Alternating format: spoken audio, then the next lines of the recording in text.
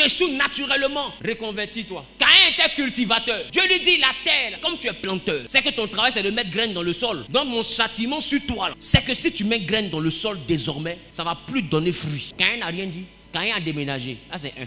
De deux, là où il a aménagé, Caïn, au lieu de devenir planteur, est devenu un homme de l'immobilier. La Bible Caïn a commencé à construire et il a construit une ville. C'est dans plantation il a échoué, non? Et ce même Caïn est devenu une grande ville. Et plus tard, regardez dans la Bible, on craignait les descendants de Caïn. C'est eux qui ont répandu le mal sur la terre. Ils étaient plus nombreux plus puissants que les hommes de bien. Regarde encore plus tard, un homme qu'on appelle Esaou, il n'est pas béni, il n'y a pas de problème. Mais quand Jacob le bénit a quitté le bon territoire, la Bible a fait un autre mariage. Il s'est reconverti. Il a vu que les femmes qu'il avait mariées n'étaient pas agréables à son père et agréables à Dieu. Qu'est-ce qu'il a fait? Il est rentré chez Ismaël et il a pris une femme qui s'appelle Maalat. Et à partir de cette femme-là, la gloire d'Esaou a commencé. Vous savez pourquoi? Parce que la prophétie a toujours dit que Jacob allait être au-dessus d'Esaou. Mais une autre parole avait dit que la promesse était sur Isaac. Mais Abraham avait présenté Ismaël. Se rappelle ça. Abraham a dit à Dieu que Ismaël vive devant ta face. Et Dieu a dit à Abraham ne t'inquiète pas pour Israël. Au sujet d'Ismaël, je t'ai exaucé. Il deviendra aussi une grande nation et il va lui naître douze princes. Pourquoi Dieu laisse les princes chez Ismaël? Parce que les rois sont chez Isaac.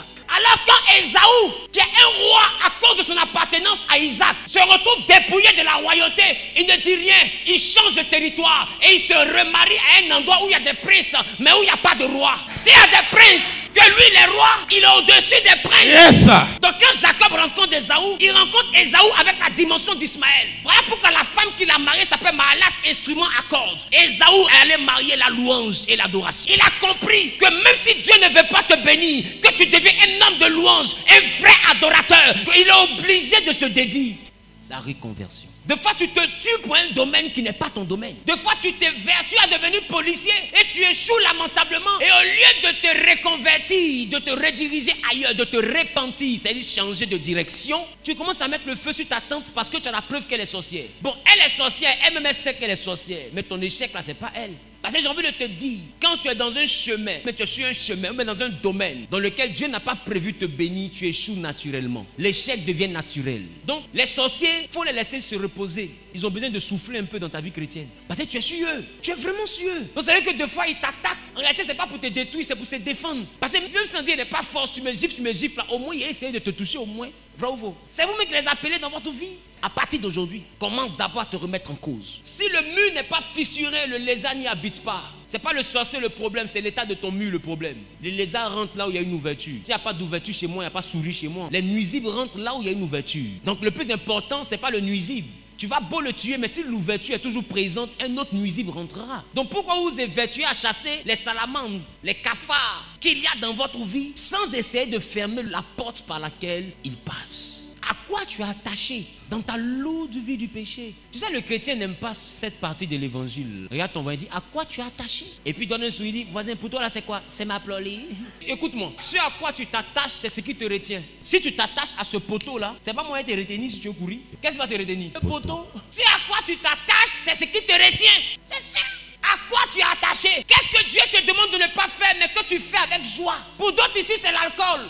C'est vrai que la Bible n'interdit pas l'alcool. Mais des fois, dans ton alliance, Dieu veut pas que toi tu puisses boire. Mais pendant lui ne veut pas que toi tu puisses boire, c'est quand tu bois vin même que le vent te souffle. Est-ce que je parle à quelqu'un? Donc tu dis, je suis chrétien, je ne peux pas boire beaucoup de verre, donc je bois un verre par jour. Mais un verre là, on dit la Coupe du Monde. Écoute-moi, tout le monde sauf toi.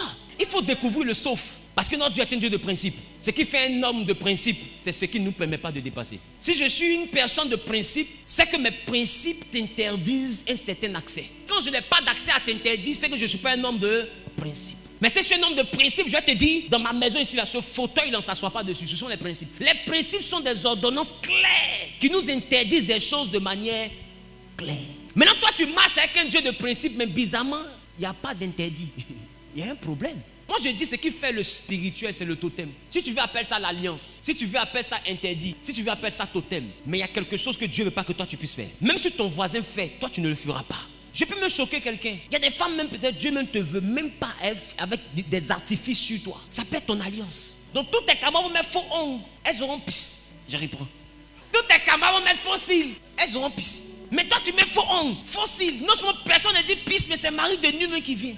Il fait jour dans ta vie, dit il fait nuit. On ne te voit pas. Ma chérie, laisse tomber. Des fois, il y a une mode qui ne va pas avec toi. Reconvertis-toi. La reconversion dans tous les domaines. Reconvertis même ton style vestimentaire. Tu n'es pas obligé de montrer ton corps pour être belle. Change ta mentalité. C'est ça la reconversion. Il dit soyez transformés par le renouvellement de l'intelligence. Veut pas dire que tu es bête. Ça veut dire que ton intelligence doit avoir une mise à jour. Il faut faire une mise à jour. Parce que les appareils qui ne sont pas à jour, la bug.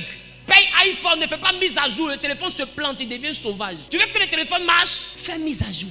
Où tu es là, actualise-toi. On ne change pas l'équipe qui gagne, mais une équipe qui perd quand même. Il faut changer.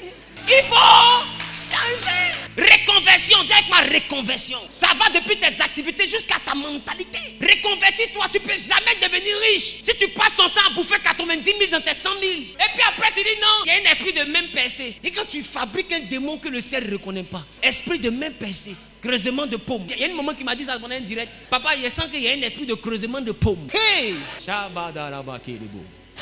Creusement de paume. Parce qu'elle a cherché son démon et elle a dit non.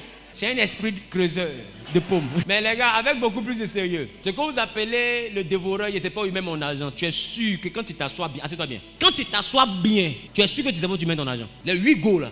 Les transports là, c'est quoi? C'est au ciel, ça quitte. Tu es sûr que tu sais où tu mets ton argent. Les transports, tu payes. Les shawarma, tu donnes aux gens. Les faux ongs, tu payes. Là, tu sais où ton argent va. Attends, elle te dit encore. Ma soeur, tous tes cheveux. Tu es sûr que tu sais où tu mets ton argent. Regarde tes doigts. Tu es sûr que tu où tu mets ton argent. Le pantalon que tu payes, tu payes habit que tu ne portes même pas. C'est les sorciers qui payent. Tu veux tout en même temps. La Bible dit Malheur au pays dont le roi est un enfant et dont les princes tu es un enfant. C'est que tu es encore enfanté. Il y a un temps pour bâtir la réussite. Écoute-moi bien, le succès nous surprend, mais la réussite se construit. Le problème du chrétien, c'est que le chrétien subit tout et n'est responsable de rien. Quand quelque chose tombe sur lui, c'est le diable. C'est plus facile à accepter au fait. C'est tout le monde sauf toi. Mais c'est d'abord toi. Le diable, lui, il paye pas. Il te donne l'idée. La preuve, elle a eu Satan, mais fruit. Il dit à Ève Dieu sait que si tu manges, tu vas devenir comme lui. Fin de citation. Puis il allait s'asseoir, il a pris ventilateur, il a mis sur lui. C'est maintenant qui fait guerre dans sa tête. Parce que la bataille dans la tête à cause de ses objectifs. Elle voulait devenir comme Dieu. Non, ça veut dire que ce que tu veux devenir, c'est dans ça que tu mets ton argent. Moi reconversion. Reconversion. Changement de mentalité. Dans le mois de décembre, nous avons la semaine du bilan. Il va falloir que tu sois sincère. Dans ton bilan, mets Satan à côté, il n'est pas responsable. Il est l'initiateur du projet. Lui vient t'expliquer que la Gaule en forme. Lui, il a fini. Fin des citations. Il s'est endormi. C'est toi maintenant, tu prends ton temps maintenant. On te dit adore. Dans la maison de Dieu, adore. Elle se met à genoux pour adorer. Toi, tu es derrière, c'est ses fesses, tu regardes. Dans l'église, on dit louer Dieu. Il y en a qui disent On le loue. On le loue.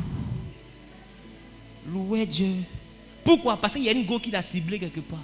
On ne se moque pas de Dieu. Les gars, votre bilan, soyez sincère avec Dieu. Des fois, ce n'est pas Dieu que vous cherchez, c'est un pasteur puissant que vous cherchez. C'est une idolâtrie. Changement de mentalité. Quand le pasteur voyage, toi aussi tu voyages. Tu vas vers une église où le pasteur qui est puissant encore là, en attendant que ton pasteur puissant revienne. Parce que quand lui voyage, il met Jésus dans sa poche. Changement de mentalité. Des fois, tu échoues naturellement parce que ton mindset n'a pas bougé. Eh, bêtez pas l'anglais. Qui veut changer de mentalité? Pour changer de mentalité, il y a des gens que tu dois chasser. Et il te dit, allez toujours dans un restaurant tiré là. Il y a un ami qui est ambassadeur de ça dans ta vie. Quand lui t'appelle, il a toujours plein. Tu es changé de mentalité, bloque-le. Il y a une camarade qui te rend envieuse. Quand elle vient, elle va te parler de Kim Kardashian, de Emma Louest, de tant, tant, tant. Comment telle personne a payé Dior? Toi aussi, du coup, tu as envie de ça. Sinon, avant ça, tu es assis dans ton coin tranquille. Bloque là. Je parle à quelqu'un. Nettoie l'environnement. Parce que ton Dieu veut te bénir. Dis avec moi, je dois me reconvertir. Je dois me reconvertir.